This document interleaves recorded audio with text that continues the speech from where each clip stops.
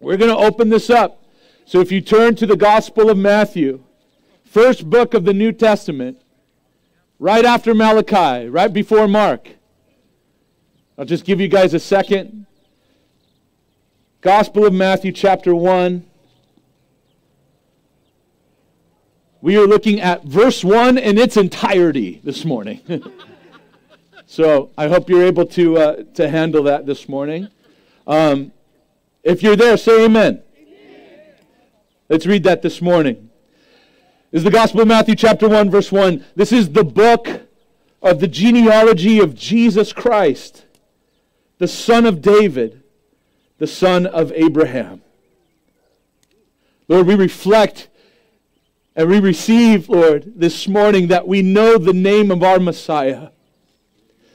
That the reason we're gathered together is not because of some great moral fiber that we have, but because we gather in the name that is above every other name, the name of Jesus. We're thankful for Lord, Lord for this journey we're about to embark on. That will take us a while, Lord Jesus, but it's a journey that you walk with us, in front of us, behind us, around us. And we pray, Lord, that in the endeavor of searching this book, looking at your gospel, that, Lord God, you would receive all the glory and honor, that you would be well blessed by our desire to learn, and Lord, you would draw us closer to, the, to your name. Bring us closer by your blood. Unify us under the name that is above every other name. So, Spirit, we welcome you. We invite you to come. We ask that you would fall upon our shoulders, upon the lips and ears and eyes of your people this morning. And we welcome you to speak to us now. In the mighty name of Christ, we pray. Amen. Amen. You may be seated. Um, it's, I've been preparing for this for a while.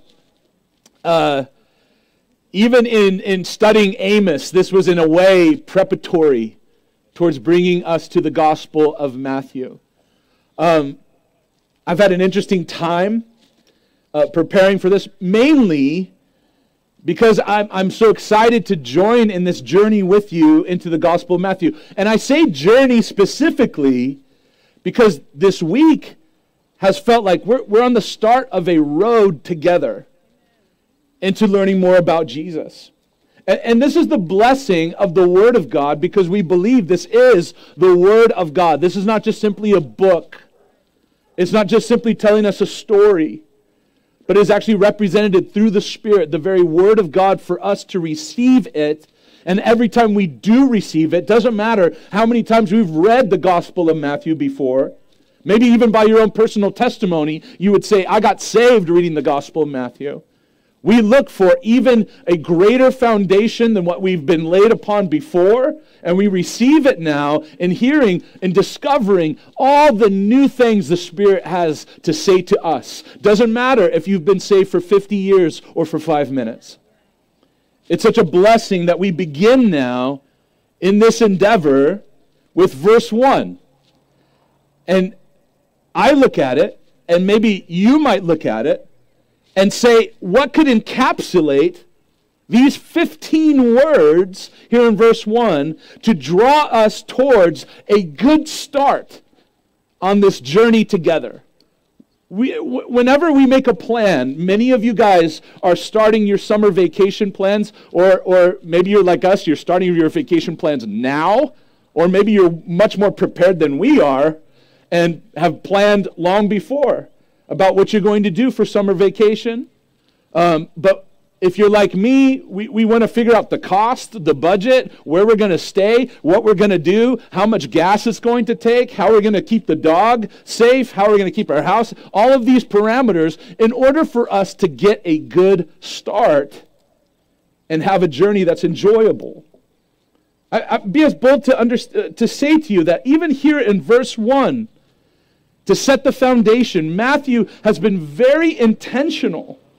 The Apostle Matthew is very specific in laying down what this book really means and what it is all about. I want us to think about this that within the words of verse 1, even, it's like this verse is the answer and the announcement that the entire universe has longed for since creation. That this is the beginning of Jesus Christ on earth uh, it takes us even back to the book of Genesis. If you're writing your notes, you can write these scriptures down for later. But even into the beginning of Genesis, in Genesis chapter 3, verse 15, where it was through uh, the sin of our father Adam and through the sin of our mother Eve that we have now made enmity with God Himself. And we are now incapable to save ourselves. But through the words of God Himself, in reaction to this, he says, I'm going to send a Savior. Genesis chapter 3, verse 15 says, I'm going to put enmity between you and the woman, between your offspring and her offspring, meaning the snake and the woman. He shall bruise your head, and you shall bruise his heel. If, it continues on, even if we look at what Paul proclaims in Ephesians chapter 1, verse 4, even as he chose us in him. Who's the him? The Messiah, Jesus before the foundation of the world, that we should be holy and blameless before Him. Since the fall of man, the universe has longed for salvation from the decaying effects of sin. And we can take a look at the world today and realize that it's been the same since the beginning. Everyone is seeking transcendence. Everyone is seeking purpose. Everyone is seeking the answer to the why of their own personal life and what their destiny is, and they are finding it seemingly in dark places.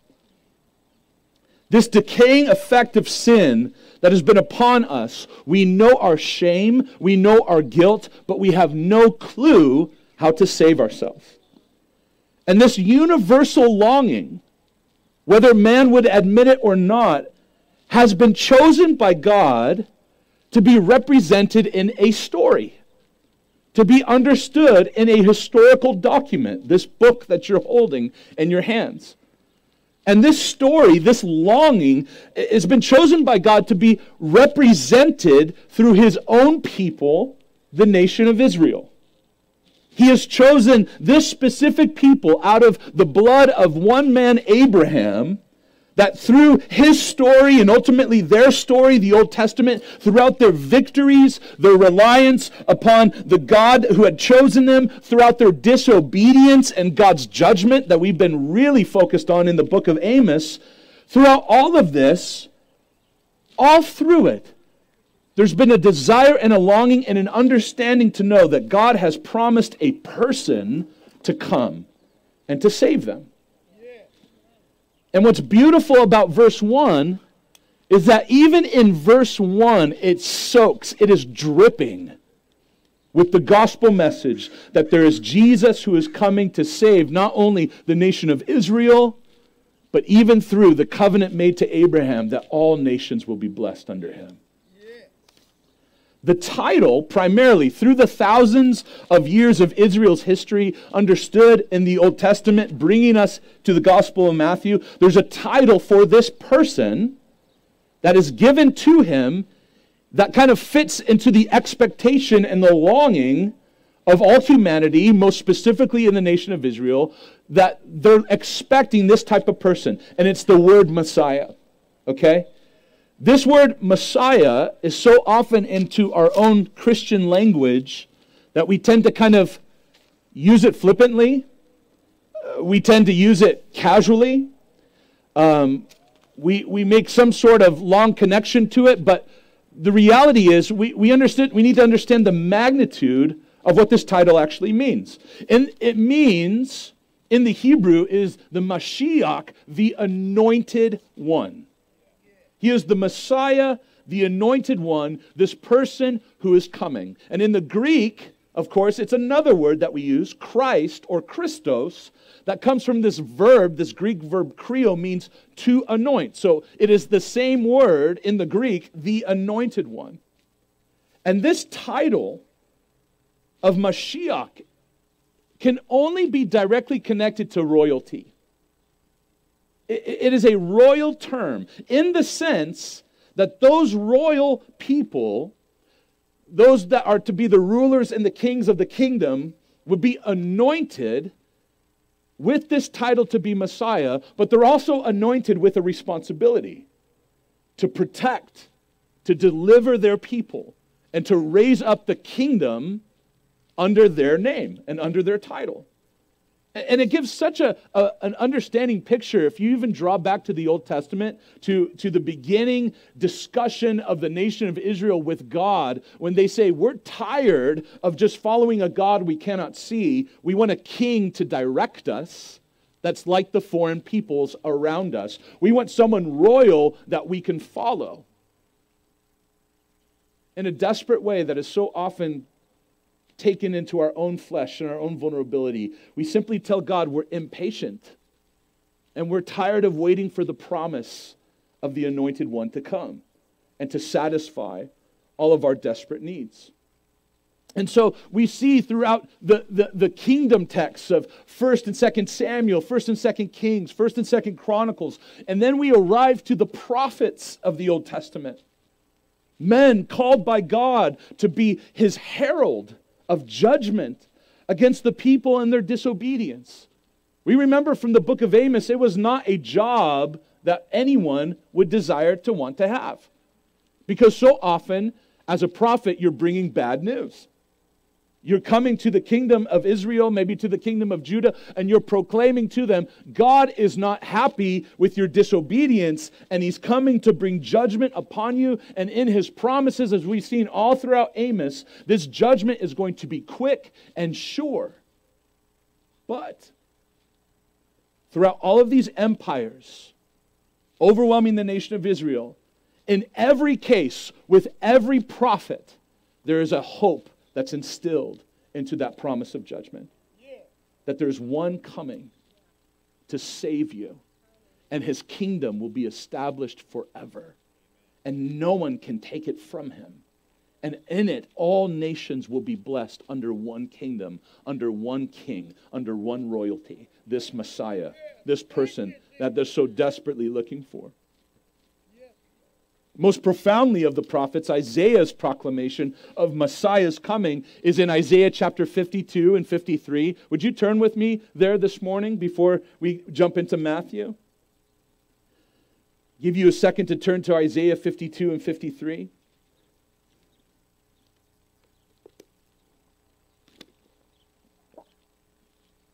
It's interesting that Isaiah 53 is this messianic proclamation, this royal Savior who is coming. And uh, it's interesting that the New Testament quotes Isaiah 53 over 80 times to declare who this person is. Throughout the centuries, Israel longing to hear the identity of who this Messiah is. If you look at Isaiah chapter 52, verses 1 through 3 with me, it says this. Here's a cause for us awake. Awake. Let's wake up. Let's put on strength, O Zion. Put on your beautiful garments, O Jerusalem, the holy city. For there shall no more come into you the uncircumcised and the unclean. Shake yourself from the dust and arise. Be seated, O Jerusalem. Loose the bonds from your neck, O captive daughter of Zion. For thus says the Lord, you were sold for nothing, and you shall be redeemed without money. The prophet Isaiah is calling the nation of Israel to start waking up from their lethargic slumber of not believing in the promise of God to bring a Messiah to save them. He's saying, Wake up from your lethargy because you're not listening to the prophets. You're so sleepy and impatient. You're not willing to look and see that your Savior is, in fact, coming for you. This call is to waken them up to look at the truer reality than their, their surrounding destruction that is coming upon him. And friends, this is so applicable for us this morning that the Spirit of God is calling this to you and to me today. We need to wake up and remember the promises that God has promised us in His Word. We need to stop thinking about the surrounding circumstances that seemingly envelop us, whether it is the political turmoil, social turmoil, viral, virus, pandemic turmoil, and realize that all of these things fall subsequent to the promises of the Messiah and what he's going to bring about in his kingdom and in you today. We need to put off sleep but we're also to put on something. We're to put on strength.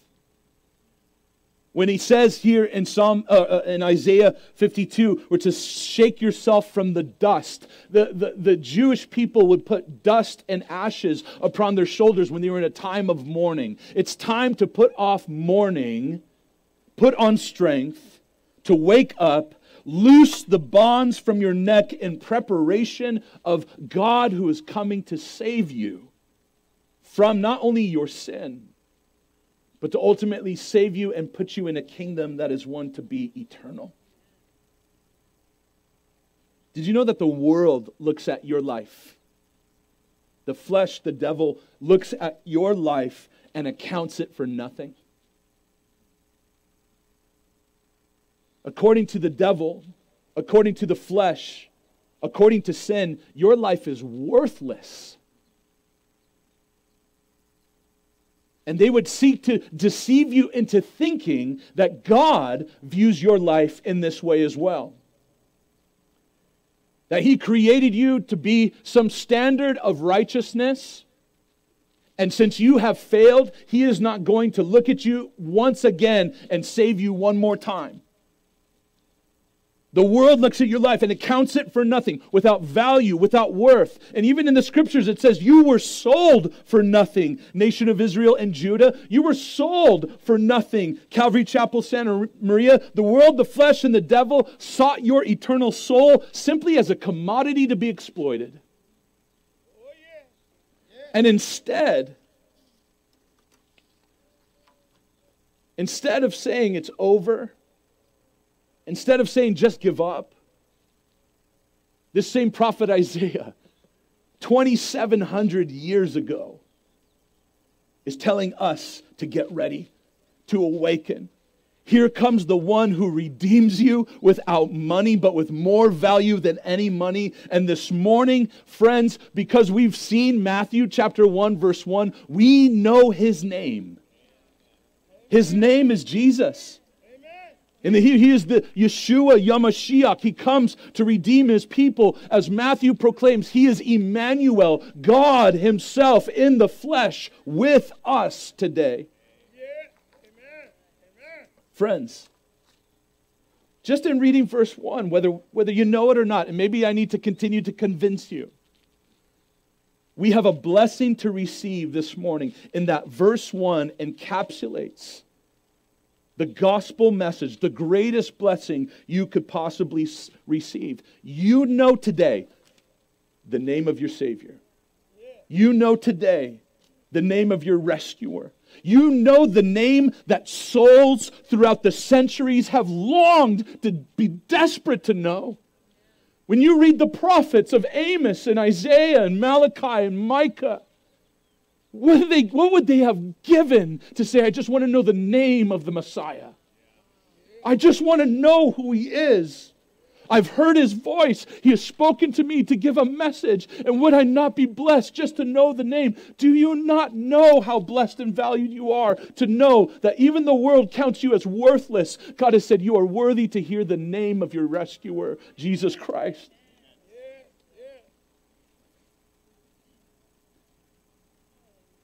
These words of Isaiah were not seen face to face, like I said, for another 650 years.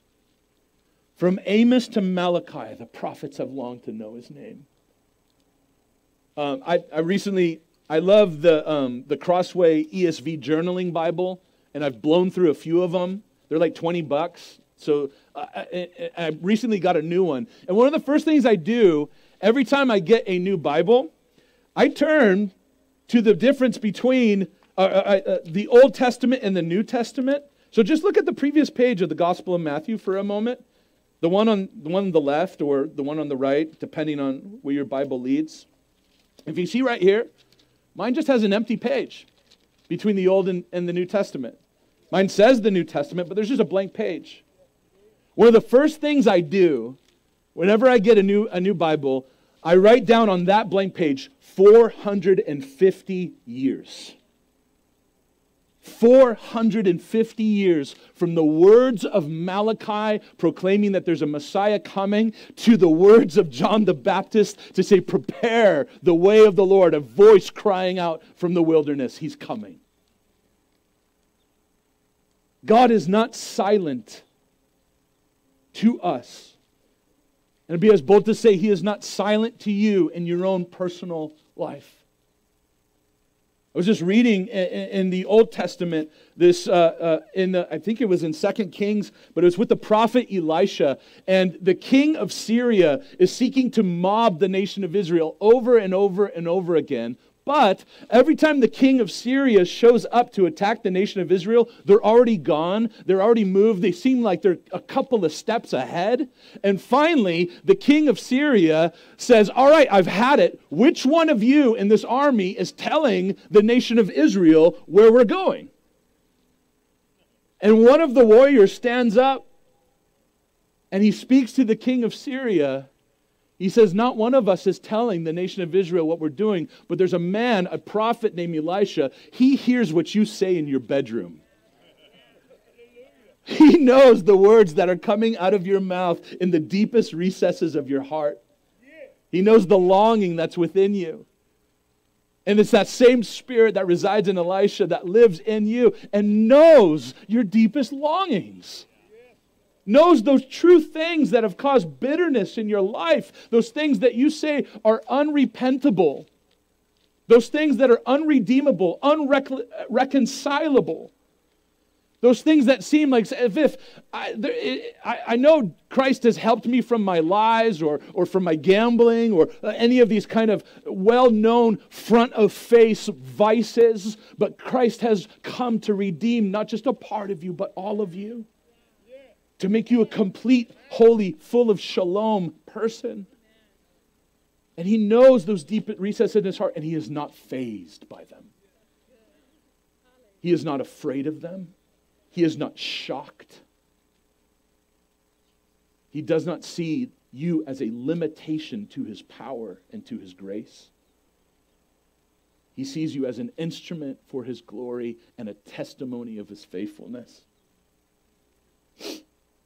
I love that the fact that the Old Testament, as we read it through and through, and we see the, the, the story of the nation of Israel propel forward and propel forward, and then come the prophets, and they're calling out the judgment, and all throughout is this scarlet thread of longing for the Messiah. And you almost, I get the feeling as I'm reading throughout the Old Testament, I know the end of the story, as many of us do, and I start wanting to ask the question where's Jesus? When's Jesus going to show up? He's my favorite character in this story. When he's going to start coming. You know, I, I, I, know many of us have seen that TV show, The Chosen. Um, I, whether you agree with the artistic license or not, that's not what I'm interested in the conversation with. I only saw the first episode. I really liked it. But to be honest, I was getting bored. I was getting bored at the drama of it. But I realized something really special as I was getting bored watching it. The spoiler alert Jesus shows up, okay? So I know that you guys know that story. But what was so beautiful about this, and I don't know if it was intentional by the studio people, I started asking that question while I'm watching the episode When's Jesus coming? When's Jesus going to start showing up? What, what, all of this trouble and all their incapability to, to help one another and all the turmoil and all the problems. When's Jesus coming up? I want to see Jesus. And he shows up at the last 30 seconds, right? And I was just like blown away by that. And I was like, oh my goodness, it's Jesus. And, and, and it was so, I mean, I, I started to get tears in my eyes because I was like, I don't know. They did something. I didn't, I, you know, something unexpected. But it was representative to me then of actually reading the scriptures because I want to know when's Jesus coming? And friends, you must understand, as the scriptures has proclaimed, he's here, right here. He's in you, he resides within you. He promises that if you are willing to repent and follow Him, He'll come and make His home in you. And that the same love that the Father has for the Son is the same love that He has for you. And He walks with you, He resides with you. You cannot escape Him. You can go to the bed of Sheol, the abode of death itself, and He is there. Matthew, let's continue on. He was an apostle. He's one of these like intimate 12 of the disciples of Jesus, and he writes this gospel with a specific intention. Uh, with the intention to reveal to all who read it that all that you have longed for, every need of satisfaction, is found in the Messiah Jesus. He's this royal king. If you look at verse 1 of Matthew chapter 1, there's two men represented in beginning the evidence of Jesus' qualifying ability to be the Messiah is that he's the son of David and that he's the son of Abraham. You see that there? He is the royal king from the line of David, and he is the fulfiller of God's promise to Abraham, and therefore, subsequently, every nation upon this planet. He comes to bring his kingdom on the earth. And this is why Matthew begins his gospel in this way the book of the genealogy of Jesus Christ, the son of David, the son of Abraham. Right then and there, we see a paradox. How can God have a genealogy? How is that possible? How, in this, in this way, that God, who is omnipotent, omnipresent, omniscient, omnipotent, has a genealogy?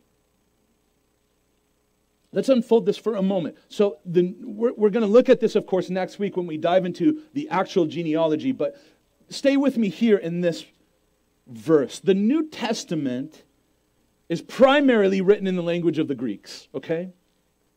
And so within the text, we discover that the first two words of Matthew's gospel is this Biblos, Genesios. Biblos, Genesios. Now, now biblical scholars, they, they naturally take Matthew's reasoning to begin with these two words because the remainder of chapter 1 is the list of, G, of Jesus' genealogy as evidence of his royal and national heritage, connection to David and to Abraham, right? Is everybody following with me? And, it's extremely important because the primary audience of Matthew's book is for the Jews. And so he says, here we go. This is necessary for us, for the Jews to understand the qualification upon which Jesus is connected to the royal line of David and connected to the covenant, the Abrahamic covenant of Abraham. Extremely important. But, friends, there's more to it than that as well. There's a multi perspective that's available to us this morning. This, these two words, Biblos Genesios. Biblos means book. This is where we get our word Bible, right? It means book, but then Genesios means beginning. It's Genesis. And, and Matthew was this Jew who we see in, uh, uh, uh, throughout the gospel. He was this Jew who recognized the importance of the Pentateuch, right? The first five books of the Old Testament. But he also recognized the magnitude of the place in history where he lived and the magnitude of Jesus' redemptive work on earth now. And so he is juxtaposing the story and saying there is a new work accomplished. You're reading all of the Old Testament, and it's pointed to this very moment now. The Messiah that the centuries have longed for is now here. And guess what? It's a new book, it's a new beginning. Where in Genesis it presents the fall of man and their incapability to save themselves, as we saw in Genesis chapter 3. In Christ, there is a new Genesis. Do we need a new Genesis this morning? The opening title to Matthew's gospel could be translated as this This is the book of the new Genesis wrought by Jesus Christ, the son of David, the son of Abraham, this new beginning of God in the flesh, walking upon the earth, having a genealogy, a new beginning, a new ministry, a new power, the beginning of a new kingdom, the beginning of a church being birthed through the Pentecost of the Spirit, culminating to the last words of Matthew's gospel saying, All authority in heaven and in earth has been given to me. Go, therefore, and make disciples of all nations, baptizing them in the name of the Father and of the Son and of the Holy Spirit, teaching them to observe all that I have commanded you. And behold, I am with you always, even to the end of the age. Frank Bruner says this to suggest that Matthew's mind, the deepest beginning in history, was not the birth of the world but the birth of the world's Savior. He is Jesus, Yeshua. Yahweh saves. He is Christ, Christos. He is the anointed one, son of David, son of Abraham. Now, these two qualifications on Jesus' resume to make him the Messiah. It's very important, not only for the nation of the Jews, but also for us as well, a mixture of Jews and Gentiles, I would assume. Now, these two promises, they comprise the desire of every practicing Jew on earth that Messiah would come. One scholar says this the two great baskets of promise in the Hebrew scriptures are the promise of David of a son who would be king forever. Right? If you want to write this down, you can look at it later. First Chronicles chapter 17, verse 14. When it's speaking about Solomon being dead, uh, being given the authority to start building the temple. But it's speaking to David specifically. It says, I'm going to confirm in you, David. First Chronicles chapter 17, verse 14. I will confirm him in my house and in my kingdom forever, that his throne shall be established forever. Do you notice that? So he's speaking about a kingdom that can never be destroyed, not through being conquered by foreign nations, but also cannot be destroyed through decay of time. It is, in fact, this permanent, established, perfect kingdom that will be established forever through the line of David. So, therefore, Matthew is presenting in this genealogy the necessary qualifications to say Jesus is that man. But then also, he says he's the son of Abraham. And the promise to Abraham was that through a seed, the nation of Israel, through one man, seed, of course, reflecting all the way back to the proto evangelion, the first gospel of Genesis 3, that seed of the woman would be a blessing to everybody, every human soul. Genesis chapter 12, it's that beautiful Abrahamic covenant chapter. Genesis 12, verses 2 to 3. I will make you a great nation. I will bless you. I will make your name great so that you will be a blessing. Blessed to be a blessing. I will bless those who bless you, and him who dishonors you, I will curse and in you all the families of the earth shall be blessed. So, just to kind of bring this together, in this promise of Matthew chapter 1, verse 1, this promise shows just how deep vertically and how wide horizontally this salvation message is for those who call on the name of Christ. This shows how inexhaustible the gospel is to any who would hear it. So think about it for this way the promise of David was a promise of time, right? I'm going to bring you a kingdom and it's going to last forever. A king and a kingdom forever. And then the promise of Abraham was the promise of space, right? A king and a kingdom for all peoples across the world.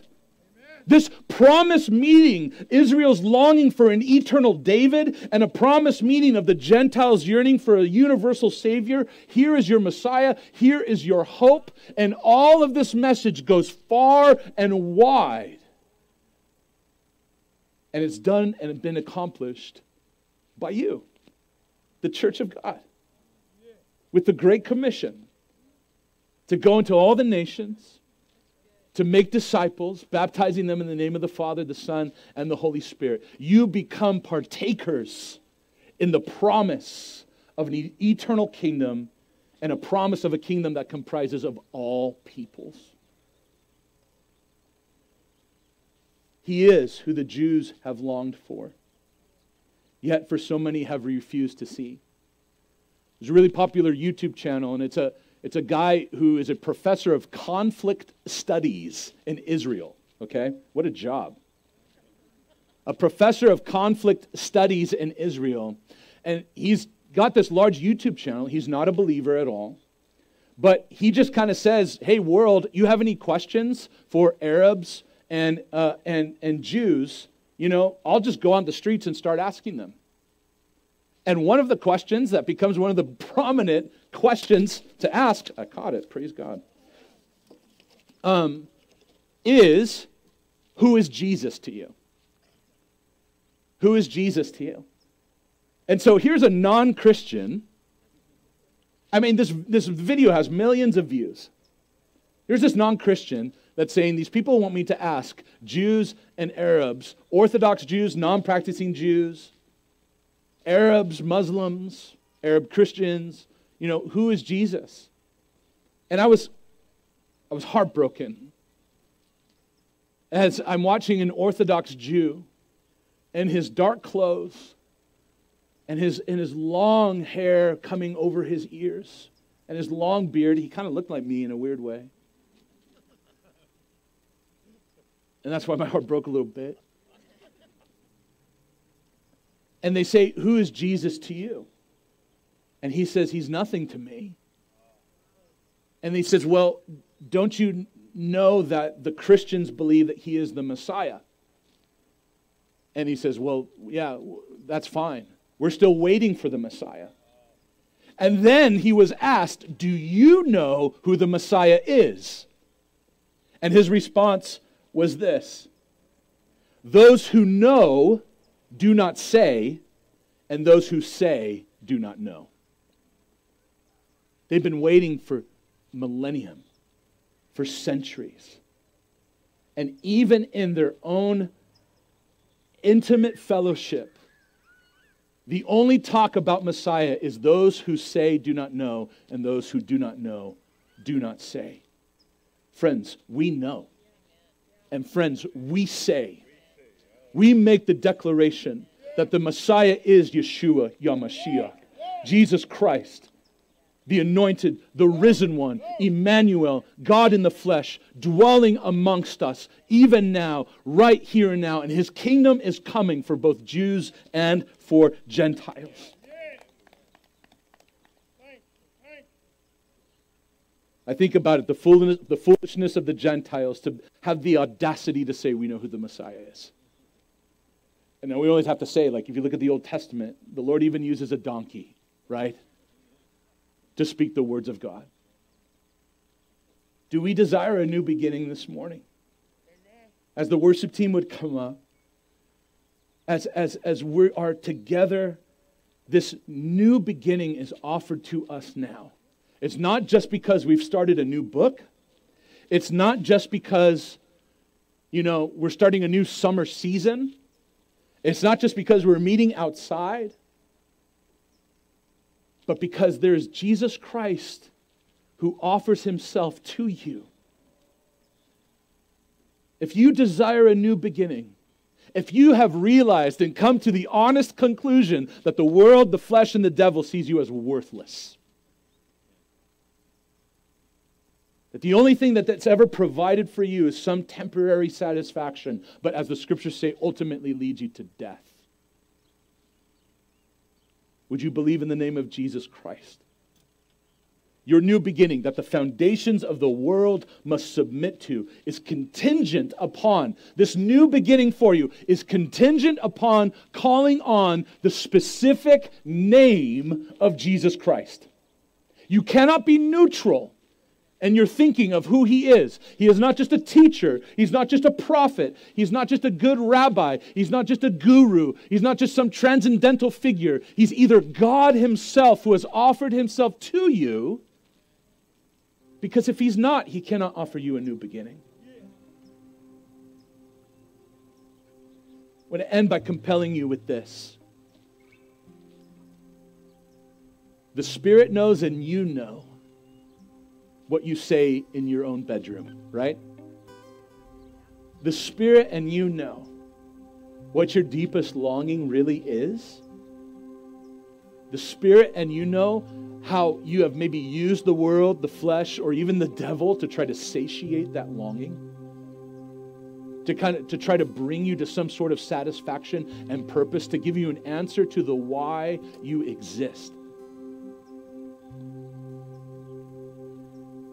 In this name, Jesus Christ, the Son of David, the Son of Abraham,